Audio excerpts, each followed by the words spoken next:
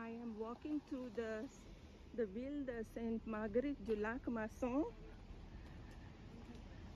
And this is a beautiful place to come for a holiday for the weekend or for the summer vacation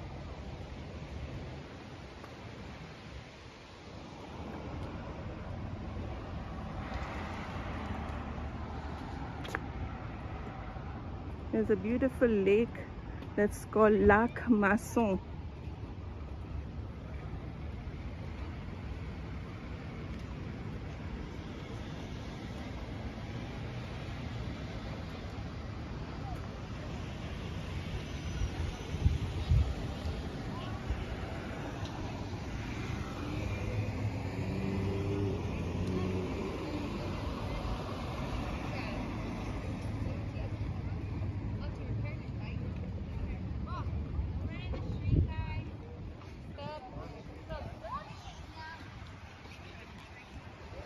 Gonna get grounded. Wait, you gotta do grounded? no.